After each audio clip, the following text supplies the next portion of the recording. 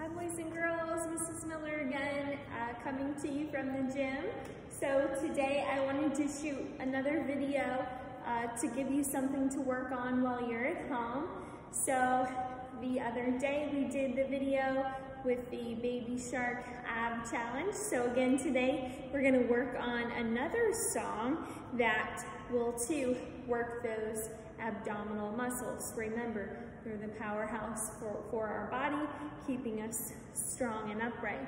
So today, same thing, we will need a surface that is flat, something that has a little bit of cushion, but something that you can lie down on and feel comfortable.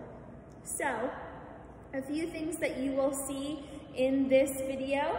One move is called a bridge or a hip bridge, where you lay flat your back will be against the pad, your knees will be bent, and you're going to take and you're gonna raise your hips up off the floor. So that's one move that you will see. Another move that you're going to see is uh, called a bicycle, where you're going to lay flat. Again, knees will be bent. You're going to try and alternate the legs while you're laying down, bringing the knees up towards your elbows, okay? That's also another move you'll see. The final move that you will, or exercise you will see, will be called a shootout. You're gonna lay flat on your back. You will extend your arms and your legs at the same time and try and bring them in to the middle of your body to meet, almost like uh, a sit-up. So there are a few moves that we've not done before in class. Just do your best and work on those. A few exercises that we've done to work the abdominals before is a plank where you're on your belly side.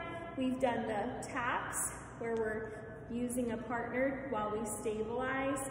And again, we've always done uh, quite a few push-ups, so, or excuse me, sit-ups. So what I would like you to do is go ahead, find your surface that you're gonna use, whether it's um, laying down on the carpet. If you have a mat at home, go ahead and and use that. Otherwise, let's go ahead, we're gonna get started. So I'm gonna start our music and we will work our core.